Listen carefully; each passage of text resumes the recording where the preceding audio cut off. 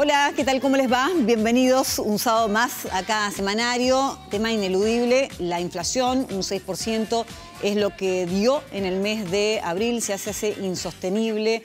Eh, todo lo que a uno se le ocurra, ¿no? Ni hablar la, vida familiar. Llegar a fin de mes se hace impracticable. Y esto corre, por supuesto, la inflación que podríamos llegar a tener a fines del 2022. Vamos a ocuparnos justamente de la economía en esta oportunidad. También algunas herramientas, porque no intentaremos del otro lado, y del lado del entrevistado, por supuesto, para poder hacer la vida un poco más llevadera. Y vamos a hablar también de la gira del presidente Alberto Fernández por Europa. Quédense, pónganse cómodos, que acá arrancamos.